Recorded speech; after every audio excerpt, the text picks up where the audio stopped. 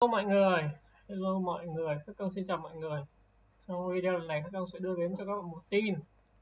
Đó là hai thành viên AC và Sella của nhóm Cosmic Girl gặp tai nạn xe hơi khi đang trên đường tham gia một lịch trình làm việc. Starship Entertainment cho biết các thành viên AC và Sella của nhóm Cosmic Girl gặp tai nạn xe trên đường tham gia một hoạt động. Các thành viên trên xe cùng quản lý không bị thương nặng nhưng họ đã được chuyển đến phòng cấp cứu để bác sĩ chẩn đoán và điều trị. Sau khi kiểm tra sức khỏe chi tiết, cả hai thành viên đều không bị gãy xương nhưng cần điều trị bổ sung và thời gian để lấy lại sự ổn định. Họ bị đau cơ và một số vết bầm tím. Theo lời khuyên của nhân viên y tế, chúng tôi sẽ đặt sức khỏe của các nghệ sĩ lên ưu tiên hàng đầu và cố gắng hết sức để giúp họ hồi phục. Chúng tôi sẽ xem xét sự ổn định và phục hồi của họ để điều chỉnh lịch trình hoạt động.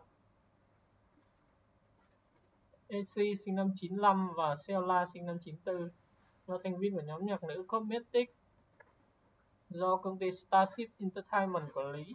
Họ ra mắt ngày 24 tháng 2 năm 2016 với đội hình 13 thành viên. Tuy nhiên từ năm 2018, ba thành viên người chung là Trình Tiêu, Mạnh Mỹ Kỳ và Ngô Tuyên Nghi tạm dừng hoạt động để phát triển sự nghiệp ở quê nhà.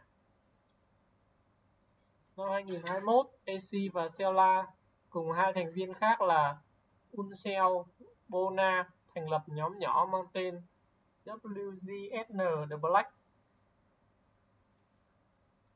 Gần đây, Comic Girl được chú ý khi tham gia chương trình âm nhạc Kingdom 2